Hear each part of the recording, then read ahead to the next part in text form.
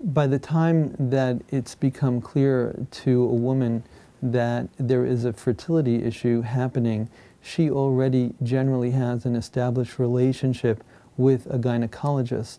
And that's a relationship that may have been uh, going on for a long time, and there's a trust there.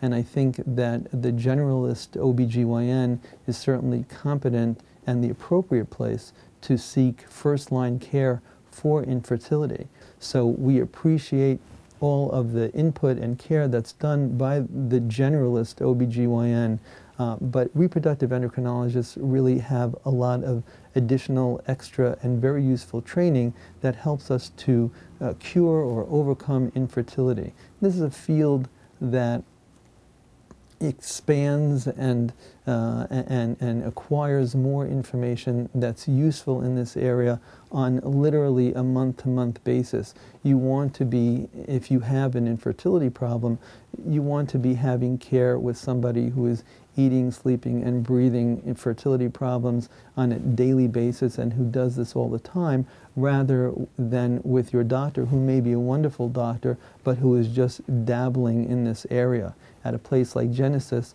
this is essentially all it is that we do, and we do it quite well.